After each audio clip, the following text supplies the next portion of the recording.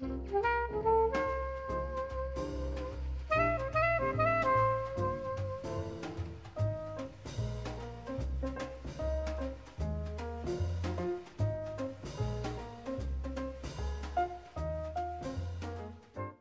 is a space that encourages community connection, that focuses on celebrating art and culture and music and Eritrean cuisine, and uh, is a space that we hope empowers women, empowers youth, and people facing multiple forms of oppression. In our minds and in our lives, all those things already intersected.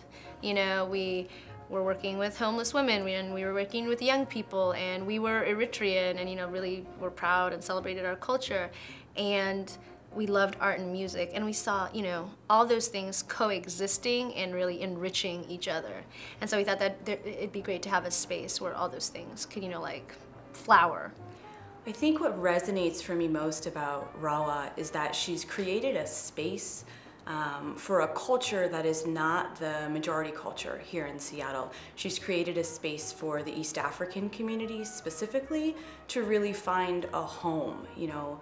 Um, Hidmo means home, and I think that's exactly what Rahwa has created in the Central District for her community. Um, but more than that, she's opened the doors of her home and invited all the rest of us in to experience what she does there. And I really respect that.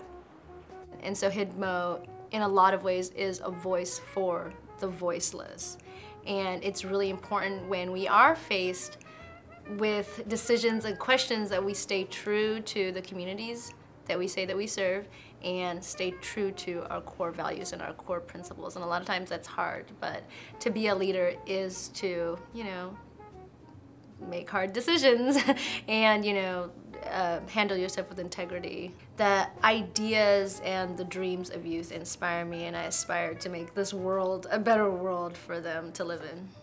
We lend our space out for use by local organizations, community organizations, nonprofits, individuals that just are seek to do positive things in their community and share our goal of building community with an emphasis on the empowerment of young people and the empowerment of women. Leadership is, it's a lifelong process. I know that it's not something that I started learning here at Hidmo and that I'm gonna, you know, stop learning once, you know, that you ever stop. You're constantly learning because you're constantly coming into contact with things outside of yourself. I think reading about, learning about, hearing about Rahwa's leadership has helped me to understand that leadership doesn't look just one way and it doesn't sound just one way. Um, as we were doing research for the brief reflection papers that we wrote about these leaders, I researched Rahwa and I found her quoted um, on the mayor's website and I found her quoted on the Anarchists of Seattle website. And you just realize that you're never going to be all things to all people. And if you can garner the support of a few people that will believe in what you're doing, you're leading.